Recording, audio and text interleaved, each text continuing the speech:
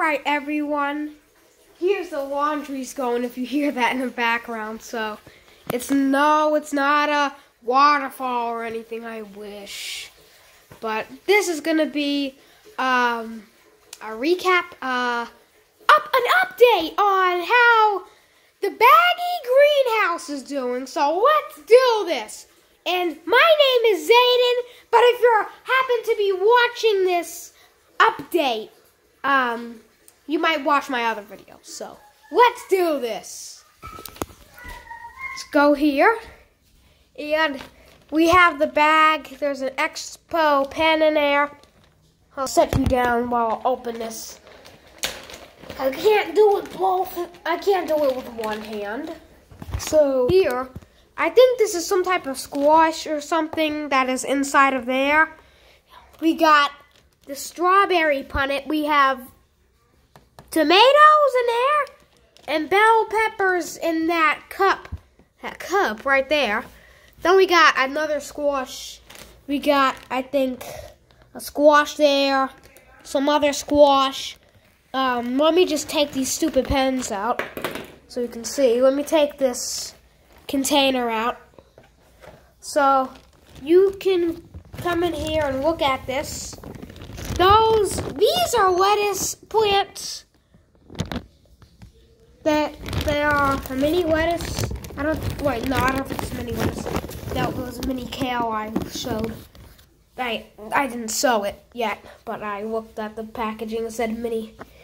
This is Par Parris Islands, P A R R I S, not Paris or Paris like P A R I S. It has P A double R I S, which is a this what the heck is? You got pumpkins, two pumpkins, in a Ziploc bag. Now, everyone knows that pumpkins in, in cucurbitas, cucurbitas, cucurbita pepo, they all grow really fast. So, let's organize this. Put this here, move it back, and then you put this on top for extra space. And then you zip it up. It's not that hard. This is not the zip one. This is the just a squeeze close bag. Squeeze it to close, which is good. But you don't want to lock in anything to make it anaerobic. That's the thing that you need to know. I put, me, I put holes on top. I put two holes, one, two, and they're big anyway, so I just could have put one giant one. So, as always, let's go ahead and also check this. This is the um, mango seed. Let me put you here. Here's my little sister walking around. These are the mangoes in this cup. So let me open it. Wow. Whoa, guys. Oh my god.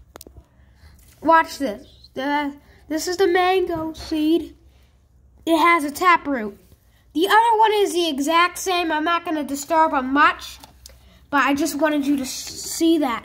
Then we got the, I know you can't really see it, but let me turn off the, the flash. That's the black cherry tree.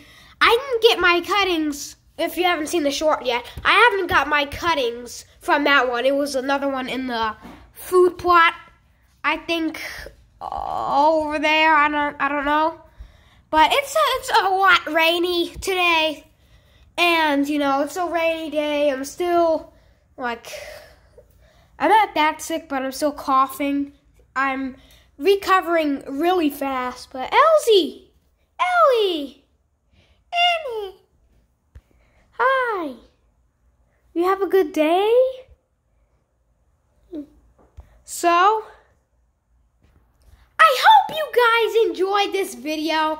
If you did, give it a great mango lettuce pumpkin thumbs up.